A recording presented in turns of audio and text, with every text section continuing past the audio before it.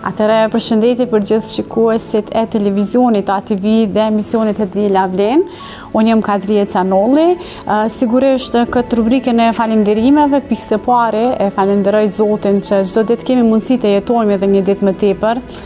Anën tjetër, sigurisht, pa lënë anash edhe familjen dhe njerëzit që na rrethojnë, na dojnë. Ndoshta ka pas shumë momente në jetë të cilat vetëm atëherë, shumë sfida, vetëm atëherë e kemi kuptuar se vlerën e jetës, faktikisht e kemi kuptuar dhe njerëzit të cilët kanë vlerë, na vlerësojnë dhe na dojnë, ashtu siç jemi në mënyrën e secilit.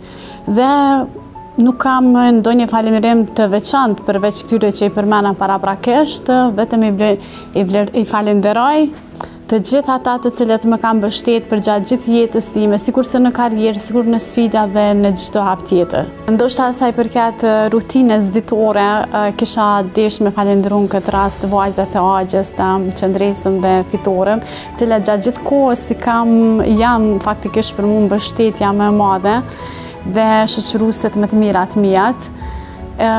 Pastaj mos të lë anash edhe kunatat e mia, gratë e vllazërve të cilat i kam sikurse motrat.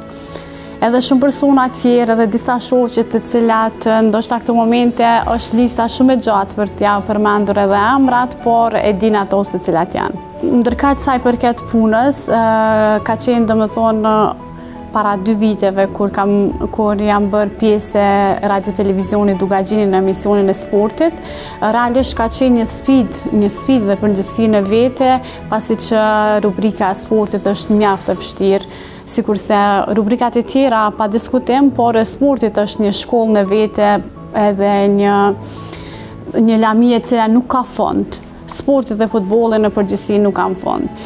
I falënderoja zakonisht edhe kolegët e mi të sportit, redaksinë e sportit sigurisht dhe drejtorin edhe gjithë stafi tjerë që më kanë mbështet maksimalisht dhe e kam, që më kanë bo, që ma kanë mundësu faktikisht daljen time sa më, sa më e mirë që të jetë e mundshme. Atëherë pas gjithë këtyre falënderimeve, mos harroni ta duani njëri-tjetrin, ta vlerësoni, ta mbani afër dhe ta mbështesni në momentet e mira dhe të këqija sigurisht.